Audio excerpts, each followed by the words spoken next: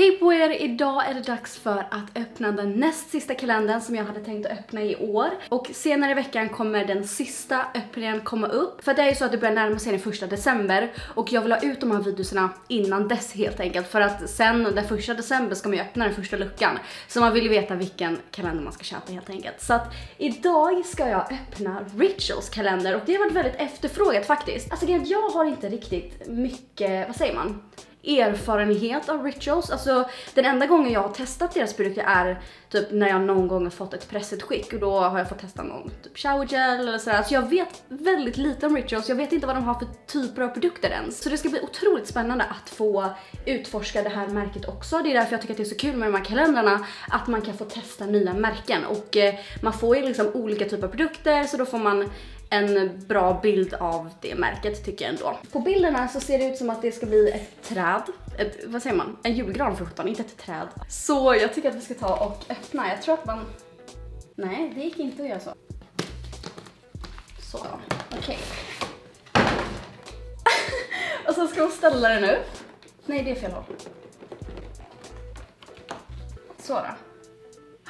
Nej, alltså den här tyckte jag var så nice. Alltså verkligen så här att de har tänkt till med hur de har gjort, eh, vad säger man, själva formen. Alltså det, det är en rolig kalender liksom än bara en låda. Jag lär få mycket frågor om bland annat mina örhängen. Det är en måne och en stjärna. Och även mitt halsband som är samma serie, alltså det matchar till örhängena. Och även min blus. Det lägger jag länk till i beskrivningen. Så har vi det avklarat. Oj, Fint. Vi låter den vara av. Jag orkar inte pussla med det där. Är det här... Oj. Hela kalendern fallerar. Det är för himla härligt. Kan jag få ut det här? Alltså är det här en till kalender som är omöjlig att öppna, då får jag spader. Mm, de har alltså ljus, det visste jag faktiskt inte. Um, vad heter den? Orangeal Vetiver. Den kommer i liksom en glasgrej så man bara kan bränna det så här. Så det här är något man skulle typ ställa i badrummet i alla fall. Jättefräsch. Så det var ju kul. Det ska bli spännande att testa deras ljus, se ifall det är någon bra kvalitet på dem. Här nere har vi tvåan. Den är så avlång, jag vet inte vad det kan vara. Smink? Har de smink? Jag vet faktiskt inte. Det här är i alla fall en body mist från Amsterdam Aha, en Amsterdam-kollektion! Till er som inte vet så är ju min mamma hel holländsk så att jag är halv holländsk och det här är ju så kul och det är tulip och Japanese juice, juice. Mmm. Åh, oh, den luktar verkligen så här blommigt. Eller undrar om jag ska typ ge den här till min mamma. Night Balm for the hands. Det här är alltså något man ska lägga över natten. Handkräm. Och det ser ut att vara full size tycker jag ändå. 70 ml känns ändå rätt rimligt. Det här hade min mamma behövt. Alltså det här. Ska jag ge allt det här till min mamma eller? Jobbiga är ju liksom att man måste liksom ta en satt typ och bända ut alla produkterna. Det här är en foaming shower gel och det är typ det enda jag testat från dem. En foaming shower gel för det fick jag i ett eh, pressutskick någon gång. Och detta är från deras serie Ritual of Ayurveda. Det är Indian Rose and Sweet Almond Oil. Det låter ju fräscht. Femman har vi typ i mitten och det är en liten fyrkant. Vad kan det vara som är en fyrkant? Okej nu, jag börjar min sax. Det här är kämpigt. Det här är en soap bar och det är från Ritual of Karma heter det. Holy Lotus och Organic White Tea. Åh, den här luktar skitgott. Så att det är liksom, så här har man en liten tvål. Alltså det här är typ, jag skulle gett den här till min mamma typ känner jag spontant. Nämen, vad är det här? Det här har jag ingen aning vad det kan vara. Aha, det är en ansiktsmask. Jag älskar ju masker. Detta är The Wonder Mask. Purifying Face Mask med charcoal och black mud. Så får man med en sån här liten så här spatula, spatula, vet du, som man kan lägga på. Jag älskar ju masker, använder det flera gånger i veckan och eh, det ska bli kul att testa ett nytt märke. Hoppas att de är bra. Men det, det tror jag, för det här är typ lite så här, lite samma grej typ som eh, The Body Shop. Det känns typ som det, att det är lite så samma, att det är väldigt bra kvalitet, det är väldigt naturliga ingredienser och så här. Det är det jag har fått fram i alla fall. Jag har ingen aning om det är sant, men ja. Eh, nu ska vi se, alltså jag vet inte vilken lucka vi är på nu faktiskt. Så det kan vara så att jag tar fel. Men vi tar vid sjuan då, jag antar att det är den. Och den här nere, den är väldigt stor. Det är en skrubb, en softening rice scrub. Organic rice milk and cherry blossom. Och detta är från Ritual of Sakura. Det ska bli asnice att testa. Och ris. En risskrubb är ju verkligen någonting man aldrig testat innan så det ska bli kul. Åtta har vi här borta. Ett till ljus. Jag håller på att bryta sönder hela skiten. Detta är Sacred Saffron. Åh, oh. det är lite mer så här mörkare doft typ. Tian är också en stor grej. Detta är en black soap med refreshing eukalyptus och olive oil. Jag vet inte om detta är en handtvål eller ifall det är en body soap. Oj, den luktar verkligen eukalyptus. Jag tänker bara på tuggummi. Vet ni vad det här är? Så kan ni jättegärna ta och kommentera för jag har ingen aning. Ingen aning. Nämen. Ja, alltså mm, mm, mm. Detta är en skrubbhandske. Eh, passar ju bra till min eh, rice scrub. Men detta är lite så här. Eh, det här vill man inte ha i kalender. Visst, jag hade behövt en, alltså jag behöver ju en sån här, men det är inte så här. Eh, åh det är det jag vill ha i en kalender som jag köper för. Just det, jag har inte sagt hur mycket den här kostar. Alltså, jag är ju bara för exalterad. Det här går inte. Den här kalendern kostade 650 kronor, vilket är väldigt värt för en kalender tycker jag.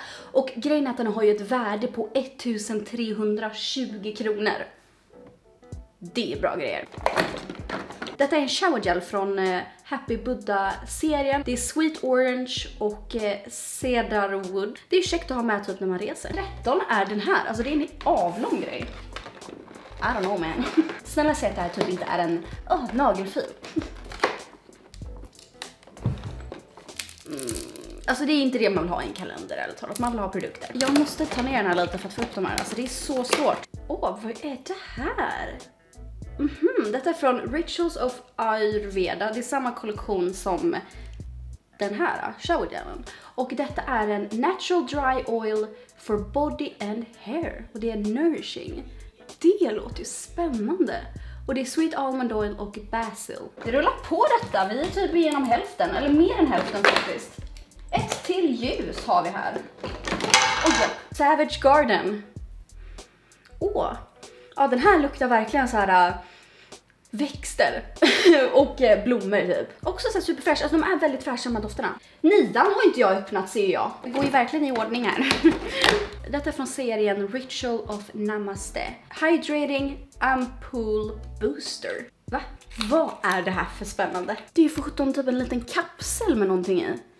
Och man fick med en beskrivning typ. Vad är det här? Alltså jag har ingen aning vad det här är. Men man ska alltså liksom applicera den på huden. Alltså det är någon typ av vätska, det är inte en olja skulle jag inte säga för den är för vattnig. Är det ett serum typ? Ett test på ett serum? Den ska jag absolut testa. Efter att jag har sökt upp vad det är. Åh, oh, det här är nice! Detta är Miracle Wipes. Organic aloe vera och lotus flower. Makeup cleansing wipes. 10 stycken. Det här är faktiskt skitbra när man reser eller ska iväg. Alltså, jag älskar wipes. Älskar, älskar wipes. Det här gillade jag. Nu har vi inte många kvar.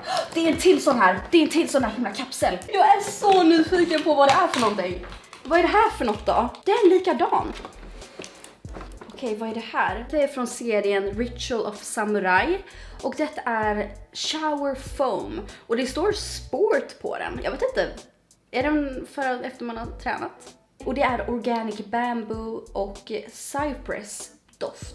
Detta luktar verkligen som typ en killshowergel. Den Karl. Detta är också från serien Ritual of Samurai och detta är en Ice Shower Gel med Organic Bamboo och Japanese Mint. Mm. Också sport. Ja, det här är en lite så här killigare doft typ. 20, nu har vi bara några kvar. Alltså den här. Det är inte lätt. Detta är från serien Ritual of Namaste. Purify Natural Skincare. Oh, första hudvårds... Nej, just det. De här kapslarna är ju för ansiktet vad jag har förstått. Och eh, det här är också för ansiktet, så det är kul för jag har väntat på det nu. Eh, så detta är en Velvety Smooth Cleansing Foam med moringa och Holy Lo Lotus doft. Vad är det här? Är det en till kapsel? Snälla säg att det är en till kapsel. Det är från Ritual of Namaste och det här är Glow. Okej, okay, ja, det här är bra. Pure Radiance Face Oil. Okej, okay, så det här är en ansiktsolja, men det är inte samma sak som de andra som jag fortfarande inte vet vad det är. 22. Vi köttar igenom de sista. Ett till ljus har vi här. Precious Amber. Också en så här svart, lite mörkare doft. Det luktar jättegott faktiskt. Mm, de här gillar jag. Vi tar 23an som är i mitten. Vad är det här? Happy Buddha är det från. Detta är en body cream. Det är nog första bodycreamen faktiskt, alltså smörjkrämen eller man ska säga. Och detta är Sweet, Sweet Orange och Cedarwood. Den sista, nummer 24. Alltså bäst att det här är något riktigt bra i slutet nu. Vad är det här?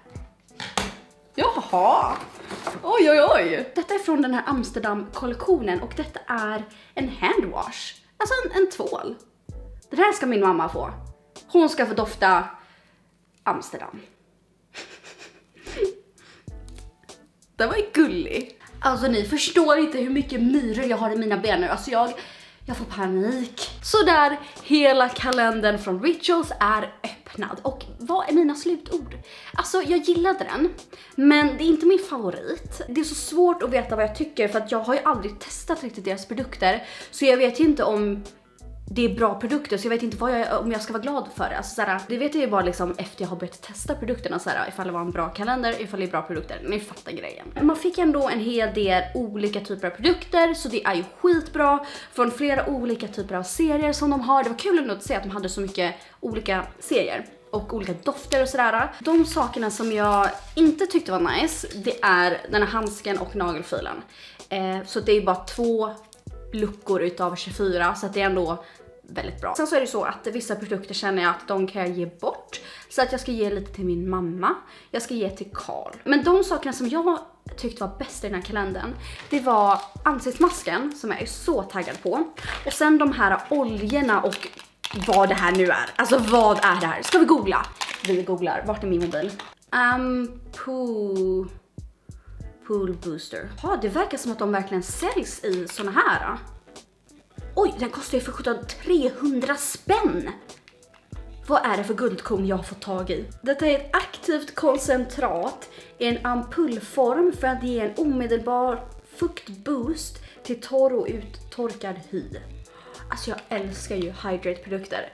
Alltså 300 spänn för den här lilla. Förstår ni det? Och den här då? Pure Radiant... Så den här äh, Glow Face oljan, den köper man i liksom en större förpackning så det här är bara ett test eller man ska säga. Och den för 30 ml kostar 360 spänn. Men alltså de här, de säljs liksom så här små. 300 spänn. Gör mig inte besviken. Tack för att ni kollade, ha det så jättebra tills vi hörs nästa gång med den sista kalendern. So exciting! Ha det bra!